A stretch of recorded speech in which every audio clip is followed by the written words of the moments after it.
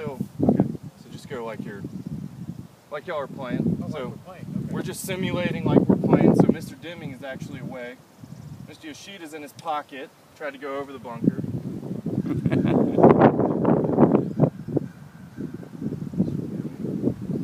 Right, not our best. But he, let's hold on one second here. He took the safe route and hit a poor shot. So his next mistake was? But at least he's still putting for a chance at bogey. So that takes away triples and doubles. Occasionally, if we even have a chance at bogey. We wanted, ideally, what Mr. Core has here, which is a chance for par.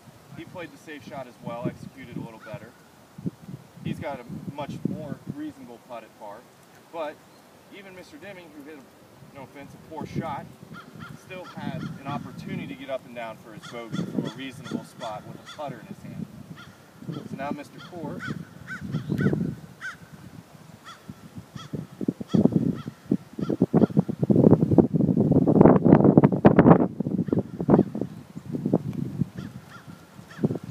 Core is flagged one up. My first one was two inches away. But he's got right there even six feet for for bogey, much more reasonable.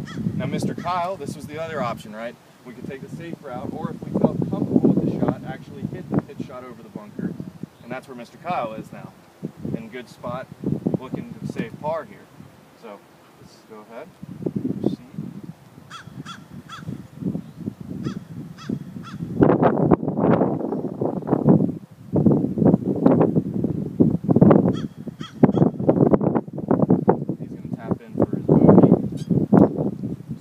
Ahead if you like.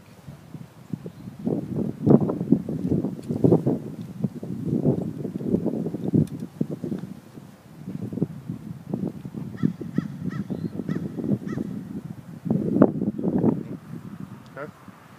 Going to salvage our double though. Just fine.